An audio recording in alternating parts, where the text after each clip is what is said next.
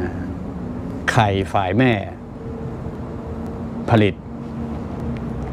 เจอกับพ่อเปรี้ยงอ้าวเขียนรูปให้ดู ฝั่งนี้รบซะเนี่ย จะให้รู้ทีหนึ่ง รู้ควบคู่กันมาเรื่อยๆครับอย่ามาถามว่าลุงออกใช้ตำราเล่มไหนนะครับ มันไม่มีอะ ยกเว้นลุงออกจะเขียนให้อ่านกันบอกแล้วไงชีวิตก็เคลื่อนไหวนะ มายังไงชีวิตขีดเส้นเป็นเส้นหลักเอาไว้ก่อนอนะให้มันมีเส้นหลักเอาไว้ก่อน แล้วมันจะได้รู้ อืเอาฝ่ายแม่ กับฝ่ายพ่อ ฝ่ายพ่อมาไง ฝ่ายพ่อเนี่ยเดี๋ยวนะต้องฝ่ายแม่ต้องมาก่อน ไข่ต้องมาก่อน ไข่ฝ่ายแม่เนี่ย โป๊ะนี่ก่อตัวของไข่ของฝ่ายแม่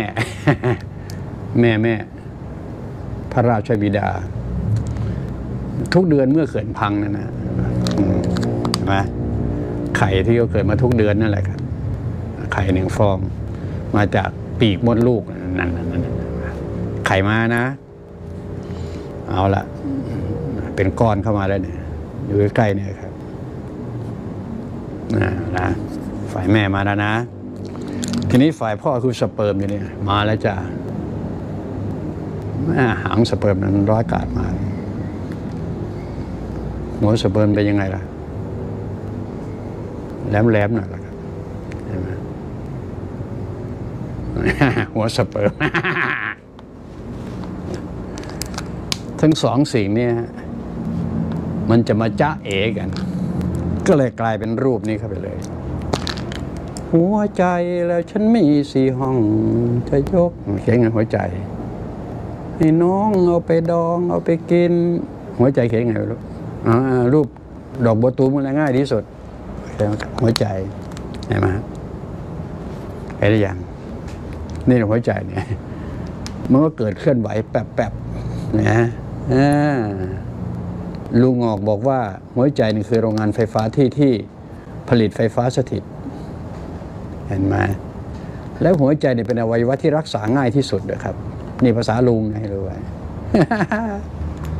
สิบอกให้นะครับไอ้ตรงนี้ขอโยงนิดนึงนะฮะรู้ไหมมาถึงวันนี้ นักวิชาการเขาพูดแล้วนะจ๊ะ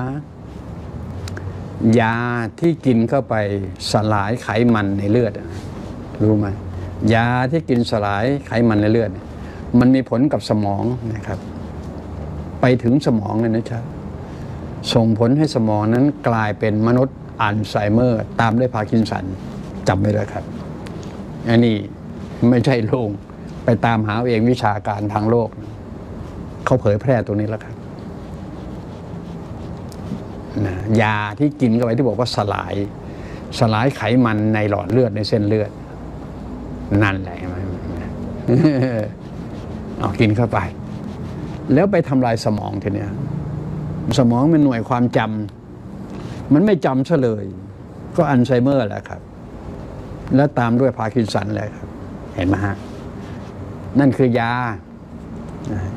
รู้ซะบ้าง นายแพทย์นางแพทย์นางนางสาวแพทย์เขาไม่พูดหรอก เขาจะพูดได้ยังไงมันเป็นอาชีพของเขาอะนะว่ากินสิ่งนี้มันไปกระทบสิ่งนั้นเขาจะพูดได้ยังไง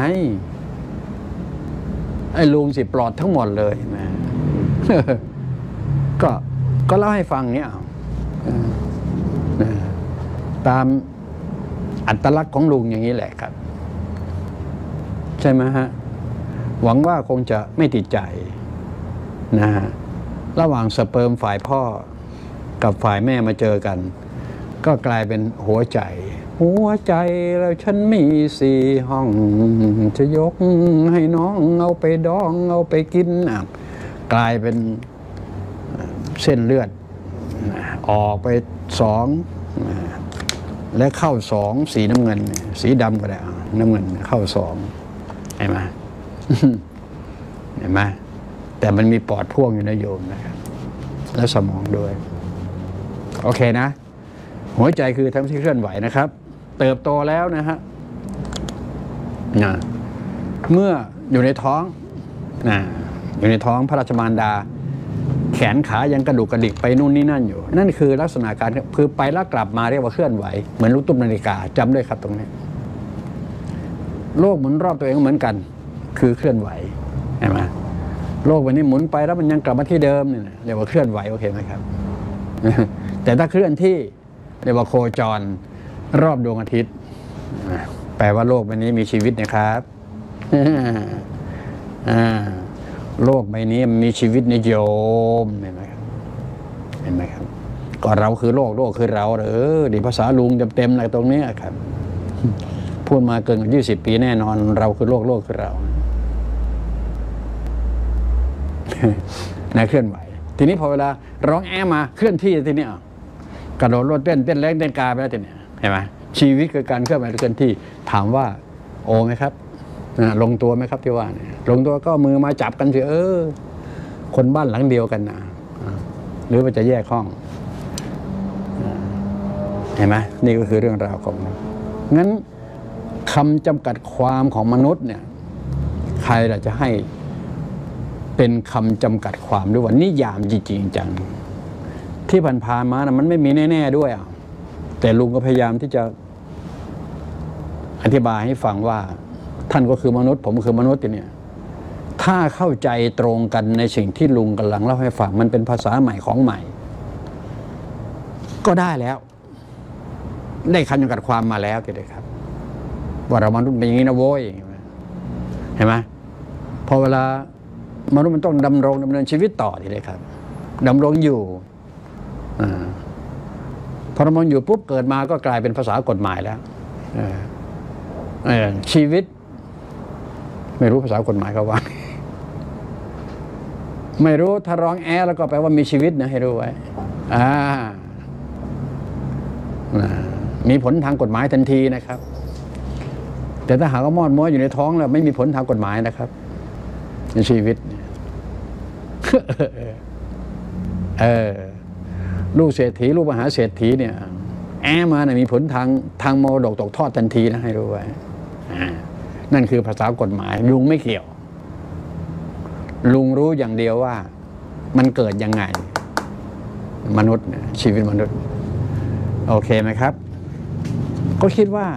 น่าจะลงตัว นะตัดเทวดาแตัดเทพแต่พรมหนี้ไปให้หมดนะครับ ไม่งั้นจะไม่เราเอาเฉพาะเรื่องราวมนุษย์มาว่ากันมันมาถึงยุคมนุษย์มนุษย์มีสิทธิโดยชอบธรรมจะรู้จักตัวเราเองและป้องกันตัวเองด้วย เป็นสิทธิโดยชอบธรรมเป็นสิทธิ์นะฮะมนุษย์เป็นสิทธินะมีสิทธิโดยชอบธรรมจะกินอะไรหรือไม่กินอะไร เพราะฉะนั้นอย่าให้ใครมาจับยัดเยียดตรงนี้ให้เรา ภาษาลุงแข็งไหมครับ มีสิทธิโดยชอบธรรม จะนอนที่ไหนหรือไม่นอนที่ไหน จะกินอะไรหรือไม่กินอะไร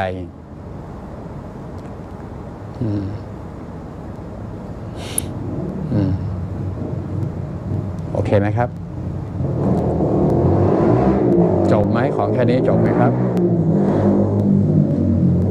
ย้ำเป็นครั้งที่ร้อยห้าสิบห้ามนุษย์มีสิทธิโดยชอบธรรมจะกินอะไร หรือไม่กินอะไร จะนอนหรือไม่นอนอืมเห็นไหมครับ เพราะฉะนั้นใครก็ตามที่มาข่มขู่บังคับให้เรากินนู่นนี่นั่น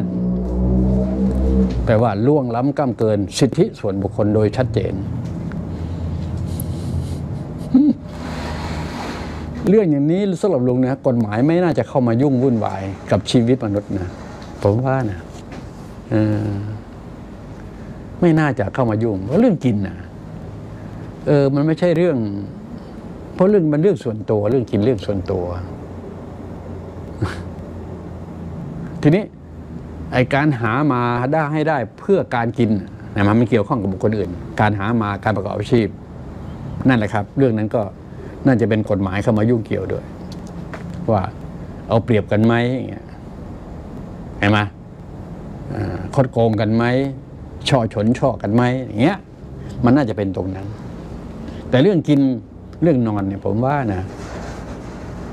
นั่นนั่นนั่นนั่นใช่ไหมครับ ว่าแล้วก็วกก็มายังวัคซีนต่ออย่างได้ด้วย เมื่อมีมาก็บังคับฉีดเข้าไปอย่างเงี้ยเนี่ย ผมถือว่าไม่ใช่แล้วครับ ไม่ใช่แล้วครับ ให้กฎหมายบังคับ ฉีดเข้าไปเนี่ยผมว่าไม่ใช่แล้วครับ ใช่ไหมครับ ไม่รู้ถ้าเป็นผมนะใครจะมาบังคับฉีดเธอก่อน เธอต้องได้รับการฉีดก่อนนะให้ลูกให้เมียเธอฉีดก่อน เห็นไหมฮะ เอาหลักฐานเอกสารมาก่อน ให้ลูกให้เมียของเธอฉีดก่อน แล้วจึงจะมาฉีดฉัน ถ้าเธอจะบังคับฉันแน่ท่านที่อยู่หน้าจอที่เราครับ มนุษยชาติจะมีความคิดอย่างนี้ที่ผมกำลังพูดพูดเนี่ย ไม่ได้ย้อนแย้งอะไรกันนักหนาหรอกครับที่ว่าเนี่ยเพียงแต่เป็นการแชร์ให้ฟังว่า มนุษย์ยุคนี้จะเป็นอย่างนั้นนะครับ โดยผู้ยิ่งเด็กเกิดหลังวันที่หนึ่งมกราคมปีสามเจ็ดเขาจะเป็นเช่นนี้ เขาจะเป็นเช่นนี้หยุดเขาไม่ได้หรอกครับ ผมยังคาดการไว้ล่วงหน้าคำพูดต่อไปนี้ไม่น่าจะเกินสิบปีสิบห้าปีนะเด็กรุ่นนี้ฮะจะตั้งเงื่อนไขตั้งข้อฟ้องร้องกับนายแพทย์นางแพทย์นางสาวแพทย์ ครับ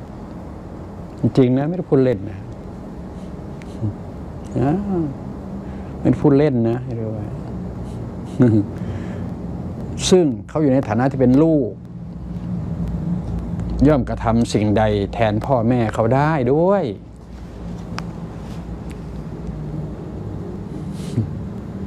เช่น ขออนุญาตตัวอย่างนะ ผมหวังดีเหลือเกินนะ ท่านที่อยู่หน้าจอที่เราผมหวังดีมากจริง ๆ นะที่ว่าเนี่ย ผมไม่อยากจะให้ใครมีเรื่องอะไรกับใคร ผมไม่อยากจะให้ให้ใครฟ้องร้องกันและกัน แม้ว่าจะเป็นฝ่ายโจทย์หรือจำเลยก็ตามที ผมไม่อยากจะให้มันเกิดขึ้นในแผ่นดินสยามแห่งนี้ และโลกใบนี้ด้วยนะมนุษย์เกิดมาเอาเปรียบมาตลอด คนเกิดก่อนเอาเปรียบ คนเกิดหลังมาตลอด สร้างเงื่อนไขสร้างอะไรละกฎบัตรกฎหมายสร้างวิธีการต่างๆ เอาเปรียบมาตลอดครับ รุ่นนี้มันไม่ใช่ รุ่นนี้มันรุ่นไฮเทคลูกหลานเกิดมาเนี่ยมันรุ่นไฮเทคทั้งสิ้นนะรุ่นเรารุ่นท่านรุ่นผมก็จะร่วงโรยไปนะมอดมวยมรณงวัตสังคาราธรรมากุศราธรรมาเข้าป่าหญ้าคากับฝังบ้าง เผาบ้างหมดสภาพลองคิดในกรอบดิครับ เผื่อให้กับลูกหลาน เมื่อกี้ผมตั้งมาแล้ว ตั้งแต่ศูนย์ปีจนตั้งถึงหกสิบปีมานะต้องพัฒนาเขาให้ได้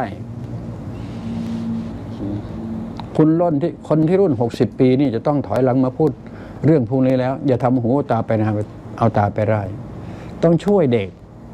ให้เขามีหลักคิดวิธีคิด แต่ไม่ใช่เอาเด็กเหล่านั้นมันเป็นเครื่องมือต่อไม่เอานะใช่ไหมครับ เลือกเถอะครับ เอาผู้อื่นคนอื่นมาเป็นเครื่องมือในการที่จะทำอะไรต่างให้ตัวเองโดดเด่นโผล่พรวดพลาดขึ้นมาเนี่ยพอแล้วครับ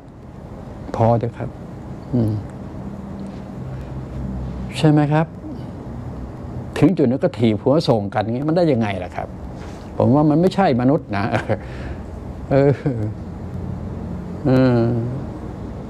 ครับ ผมว่างั้นนะ แต่ยากดีมีจนประการใดเนี่ยผมกำลังพูดจาสิ่งที่บรรดาผู้ใดก็อยู่แถวบนของสังคมมนุษย์ที่บอกว่ารวยแสนรวยโคตรมหาโคตรแห่งความว่ารวยรวยนั่นแหละครับใช่ไหมครับยังไงก็ เรื่องอย่างนี้ไม่ใช่เป็นเรื่อง ยังไงมันก็ มันจุดสุดท้ายก็บอกกันแล้วว่าต่างฝ่ายก็ต่างหอบไปด้วยไม่ได้ จะเอาเปรียบไปทำไมกันอย่างเงี้ยโอเคนะลองมาเข้าใจตามแนวทางนี่ดูสิว่านี่เป็นองค์ความรู้ใหม่ในศตวรรษที่ 21 ที่ลุงพยายามที่จะบอกให้รู้ว่ามันมาจากนี้จริง ๆ นะ อะไรทำนองเนี้ยครับ ไหวไหมครับ วันนี้แค่นี้ก็พออ่า สิ่งพวกนี้ลุงจะเขียนไม่หมดนั่นแหละ ให้รู้ไว้ จะบอกให้ทราบไว้ เขียนมันภาษาโลกไว้เนี่ยมันมีกี่ภาษาก็จะแปลมันหมดนั่นแหละจริงแต่นาทีนี้มันมีแต่กระปั้นหัวใจแล้วก็ทำไปตามเกิดตามมีผ่านจอบ้างบันทึกเอาไว้ในคลาวเคลบ้างเหล่านี้เป็นต้นนะครับมันก็จะทยอยมานำมาใช้มาใช้เรื่อยๆแหละอันหนีไม่พ้นอยู่แล้วล่ะครับตราบใดก็ตามที่ยังมีลุงออก หายใจอยู่ในโลกมันี้อยู่ ถือเป็นหน้าที่ด้วยซ้ำไปที่ว่าเนี่ยก็อยากจะให้ทุกคนได้รู้ได้เข้าใจกับสิ่งเหล่านี้ ในที่สุดแล้วอัตหิอัตโนาโถก็จะเกิดขึ้น ในการดูแลตัวเองรักษาตัวเองนะบ้านเราทีวีสถานีธรรมชาติสิบวัน เป้าหมายสูงสุดเลยต้องการให้ทุกคนทุกท่านที่อยู่หน้าจอเนี่ยรักษาตัวเองให้ได้นะฮะนะนะนะนะรักษาตัวเอง